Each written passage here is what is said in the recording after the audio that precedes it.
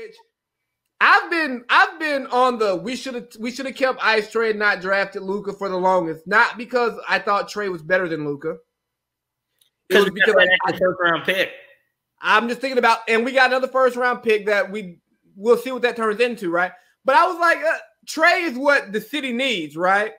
He got the swag. He has the style of play that like really works with Atlanta.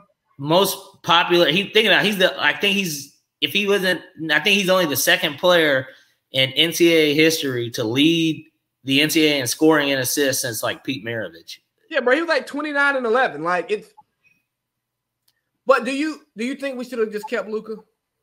Absolutely. I mean, hindsight's 2020, you know, and we can all play Monday morning quarterback, but it it definitely was the wrong move. And I I think that that Trae is gonna be able to come out next year knowing what he just saw in the playoffs.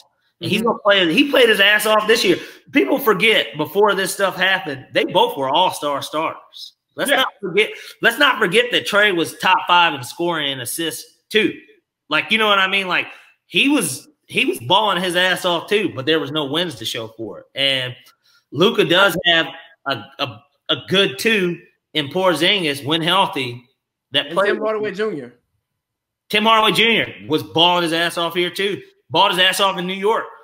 Yeah, they like pieces that surround him, and they have a great coach in Rick Carlisle. So, like, you know, Lloyd Pierce is an unproven guy, and who knows? After this year, we're going to find out whether or not he's fit for the job, and maybe they need to bring in somebody else. But I'm going to give Trae a little bit more time. I don't. Do I think that he's going to have a better career than Luka? No. But Cam Reddish is the really the piece of that trade that's going to have to, sh- and, and whoever gets drafted with the other pick is those are going to be the guys that are going to prove the trade wrong or not. Because Trae isn't that far from Luka in terms of sheer numbers. Luka just went to a better situation. People don't want to contextualize it like Dallas. He was in a hard conference too, though.